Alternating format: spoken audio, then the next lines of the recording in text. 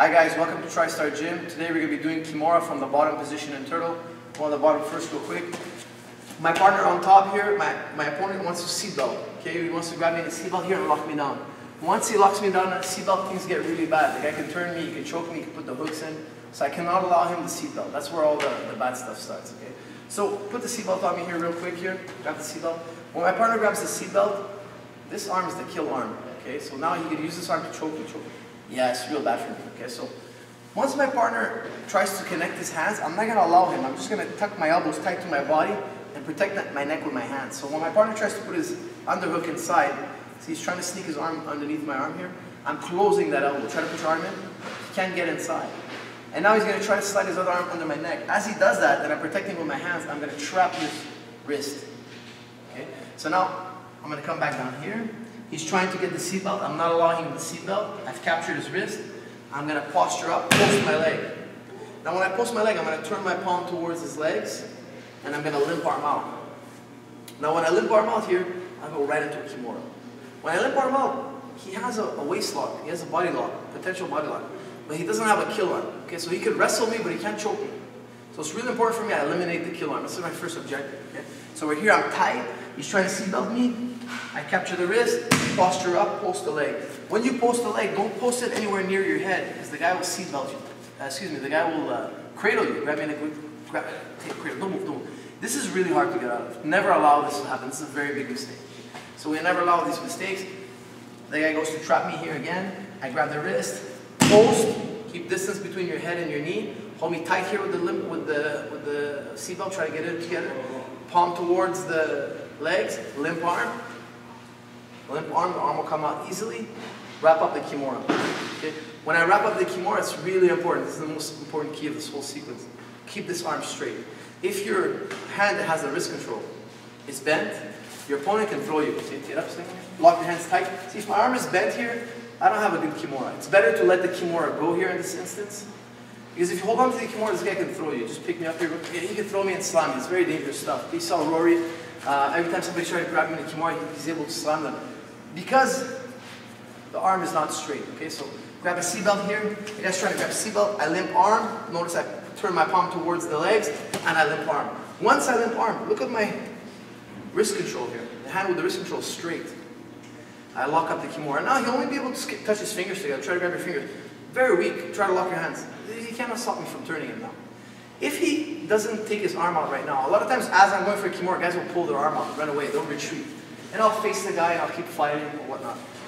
But if the guy keeps trying to hold me and keeps attacking me, I'm going to be able to put him in a Kimura. And if I get the Kimura, I'll be able to turn him, submit him, and get on top. Okay, so here we go again.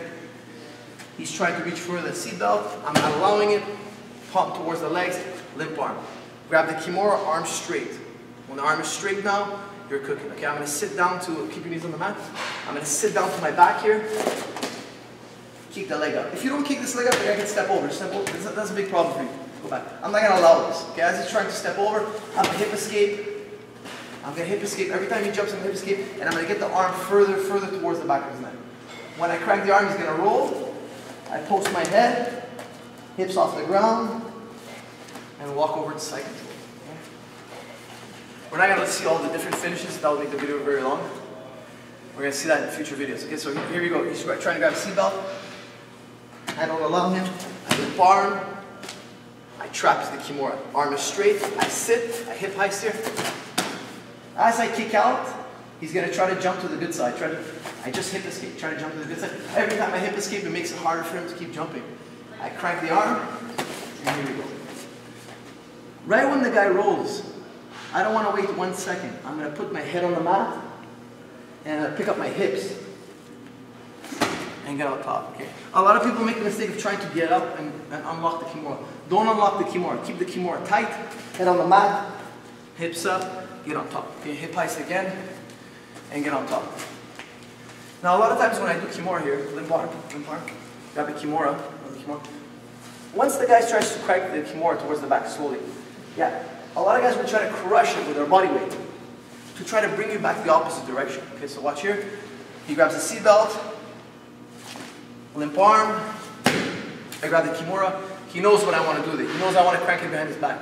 As I try to crank it behind his back, he puts weight forward. Now when he puts the weight forward, I'm going to shoulder roll, okay? and I'm going to get on top of him. But when you shoulder roll, you want to take the Kimura and put it towards the far side. If I just turn the arm towards my legs, my outside leg, it's going to be very easy for me to shoulder roll. Watch.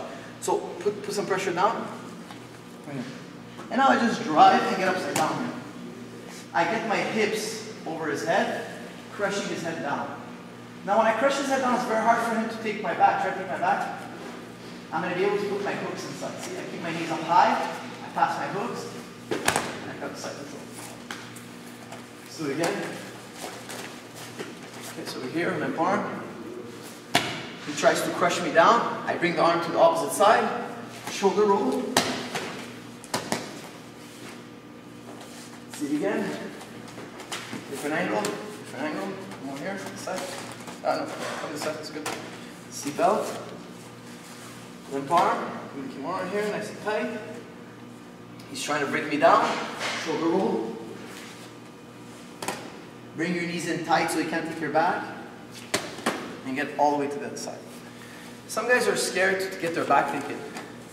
When you shoulder roll, keep your knees in tight, crush the head with your hips, and jump to the other side. Use your butterfly hooks to intercept this guard. In the, arm again, watch here. Real easy way to avoid the back take.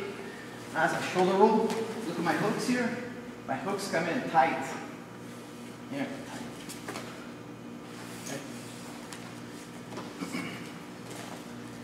When you put your hooks in tight, it makes it very difficult for the guy to um, get the back. In the worst case, if the guy is climbing towards the back, he has no kill arm. Both his arms are around your waist. You're going to be able to shrimp out and escape the back. We're going to be seeing escape the back videos later on in different episodes. If you have the waist and I'm on top, the guy on top will usually get up, will usually be able to reverse and get side control or mount from uh, back control. So give this move a try. Let's see what the, how it works out for you guys. Be sure to leave the, the your, your, your uh, experience with this technique in the comments. Please like and share and uh, enjoy. Thank you.